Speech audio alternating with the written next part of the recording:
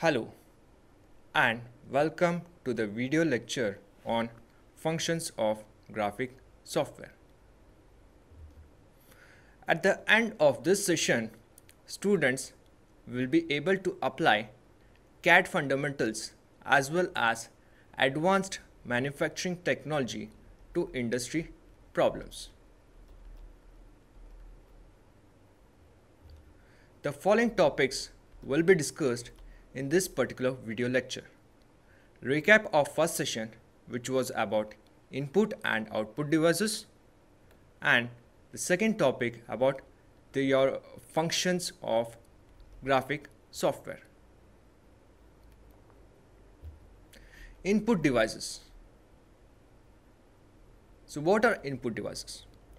So whenever we work with a computer, we need to enter data and instructions to the computer using some devices.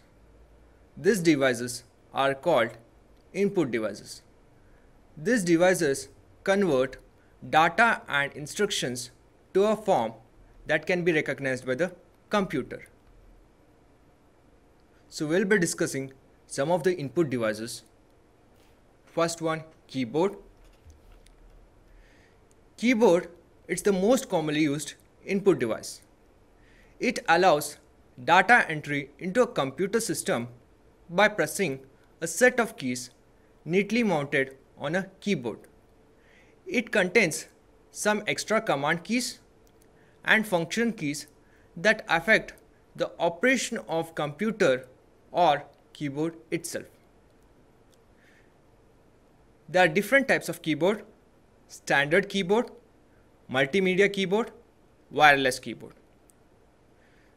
So it's basically used in graphics to provide screen coordinates, menu selection, gaming controls and for entering many graphic function. The second input device is mouse.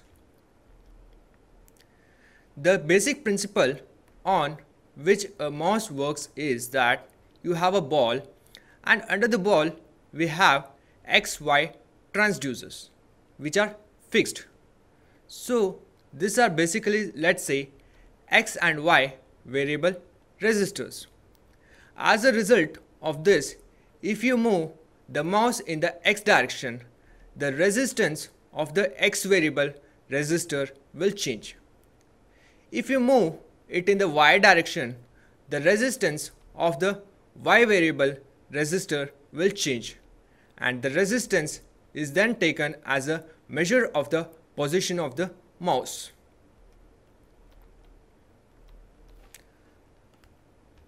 Now let us discuss the third input device that is the tracker ball.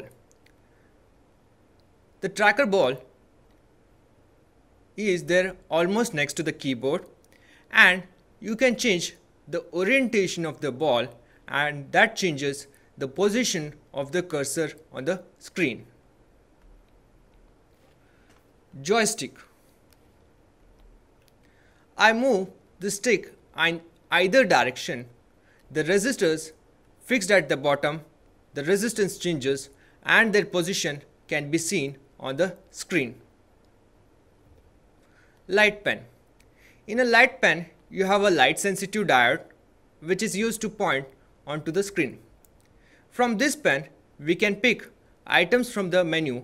We can directly point your item on the menu and click that. Normally, if you have a mouse, you're moving the mouse on the pad or on a board. In this, you don't have to do that. In this, you just take the pen and point it onto the screen and click it there.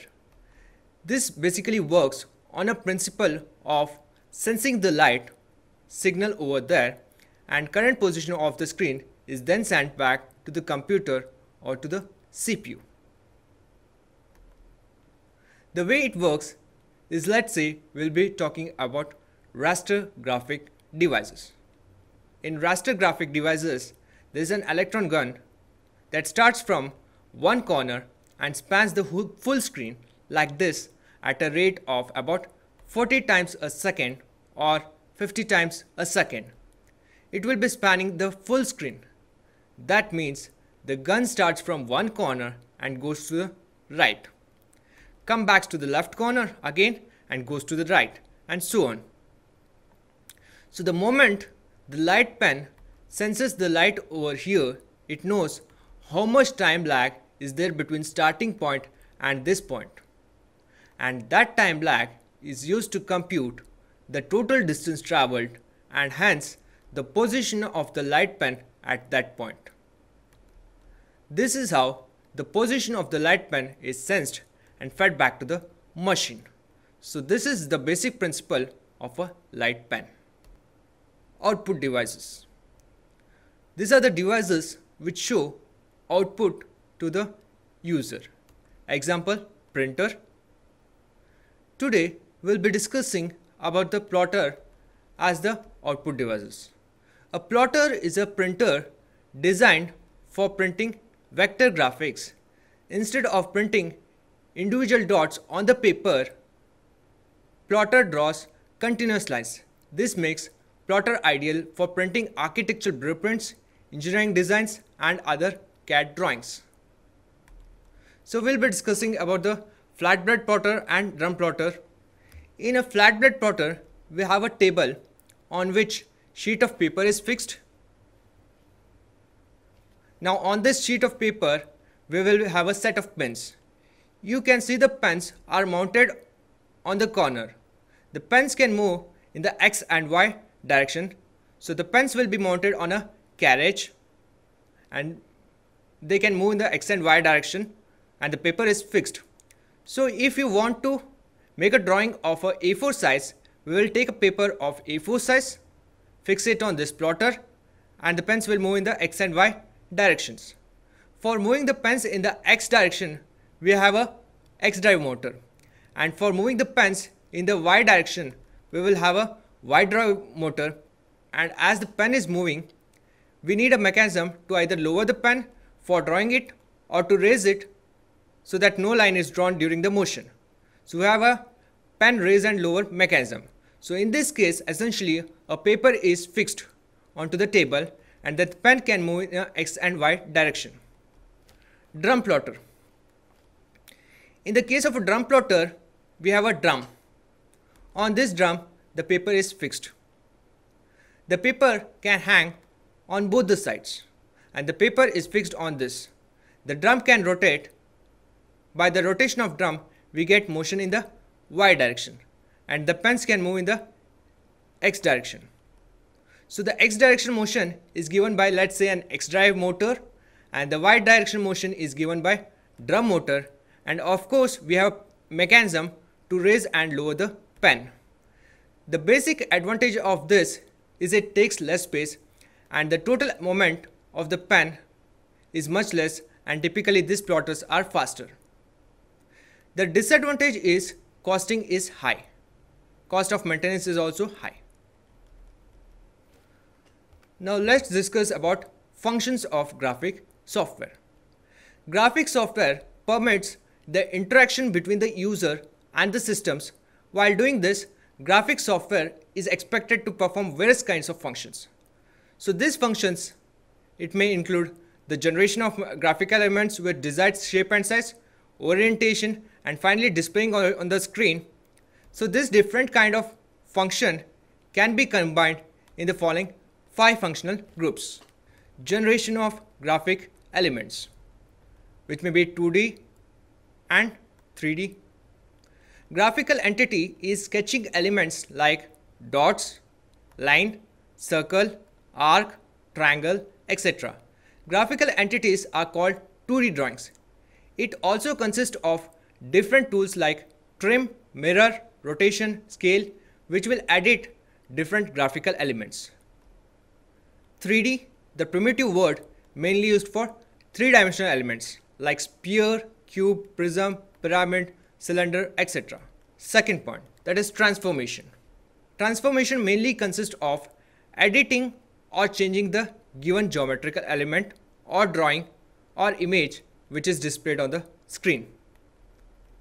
Transformation are mainly used for geometrical element so that to construct or develop application model. This transformation mainly consists of the scaling, which is nothing but enlargement or reduction of element, translation, reposition of image, rotation, providing angle to image. The third point that is display control and windowing functions. This function provides the user with the ability to view the image from the desired angle and at the desired magnification. Activities may include rotation of screen or view moving, zoom in and zoom out. Use of hidden lines will provide user and system to achieve extra better understanding of image. But if with the help of hidden lines drawing is getting complex then we should remove the hidden lines. Segmenting functions. With the help of transformation tools, we can edit or change the geometrical entity. This function will provide options for replace, delete, modify portions of image.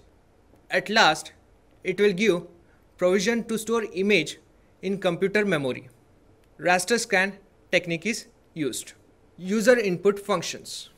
User-friendly software so as to function as geometrical entity. Now pause this video for a few seconds and try to write answer to the following question. Straight true or false. Primitives are three-dimensional elements. Probably you have wrote answer to the following question. These are the following references. Thank you.